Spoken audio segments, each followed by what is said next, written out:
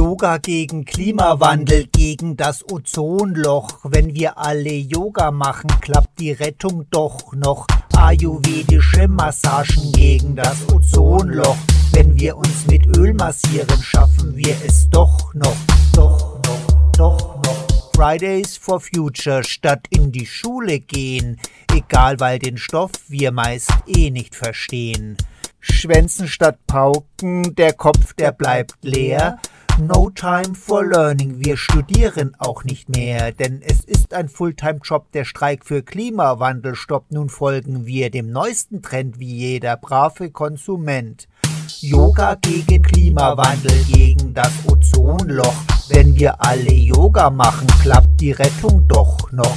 Ayurvedische Massagen gegen das Ozonloch. Wenn wir uns mit Öl massieren, schaffen wir es doch noch, Welt zu retten, ja, das ist unser Los, denn die Erde ist klein, aber unser Land groß. Atomkraft, nein, danke. Steinzeit, bitte sehr. Wir sind die Titanic im Windrädermeer. Keine Ahnung, wie es geht, doch es ist klar, dieser Planet ist nur durch Yoga noch zu retten und danach in Urlaub chatten.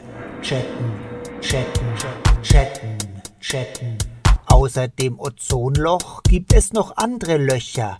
Bei den Altparteien gibt es sie noch und nöcher, nöcher, nöcher, nöcher. Yoga gegen Klimawandel, gegen das Ozonloch. Wenn wir alle Yoga machen, klappt die Rettung doch noch.